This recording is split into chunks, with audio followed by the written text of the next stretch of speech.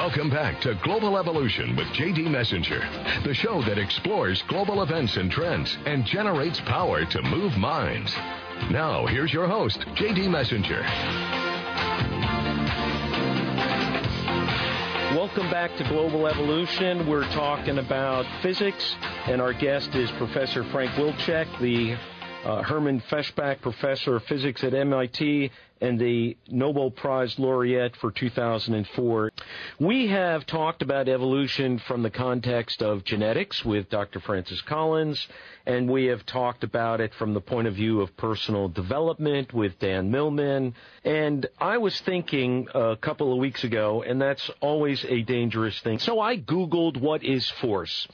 And when I Googled it, uh, I came up to an interesting article. The gentleman who wrote it is our distinguished guest today. Frank, I want to understand, inquiring minds want to know, what is our basic understanding of some things like energy, mass, and force? And, and where I'm coming from is that, you know, from when I went to school, well, we won't say how long ago that was. no, 30 years ago, the things that I was taught were maybe written in books 50, 60 years ago. And it seems that we have a, a, a completely new understanding of things like force and mass and gravity or energy. Am I, am I correct here? Yes, absolutely. Okay, I have a question. Einstein, everybody remembers Einstein's equation as E equals mc squared, but that's not exactly the way he wrote it. Is right. that correct? He wrote m equals e divided by c squared, which so, I, I call Einstein's second law. So, and that's uh, because it's less familiar than the other one, but yeah. it's more profound than it's the way he actually. So he's uh, saying mass is energy divided by the speed of light squared. For those that don't know what that right. means, yeah, so, Einstein from the very beginning was trying to understand how mass could arise not as a, an irreducible concept that you couldn't make any simpler, but as a particular form of energy. Where does dark energy and dark matter fit into this equation, if at all? By sort of a process of elimination. They don't. They're, they're called dark, but it's, they're not really dark. They don't absorb light. Not like green lightsabers and blue lightsaber no. dark. yeah, they certainly don't Red, glow. Right. uh, they're not dark in the sense of uh, black obelisks. Right. We we suspect that it's there, and we know that something's there because the gravitational field around matter uh, is being affected by something we can't see.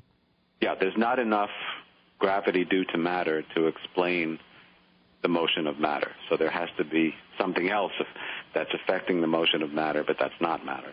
Okay, so th- does that mean the gravitational forces are greater than yes. what we? Okay, so the gravitational forces are greater with an object than they should be based on the mass of the object.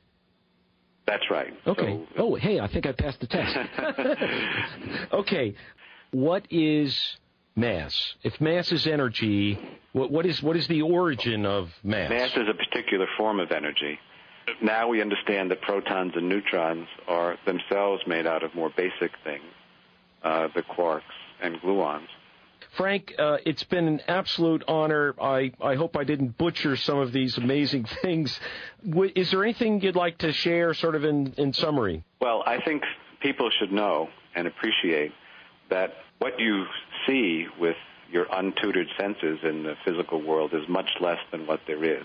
That what you see as empty space is, in our modern understanding, actually full of activity. It's a wonderful world. The part we understand is strange and rich, and the more you learn about it, the more wonderful it seems. But it's also become clear that what we know so far is just scratching the surface of what there is to be known.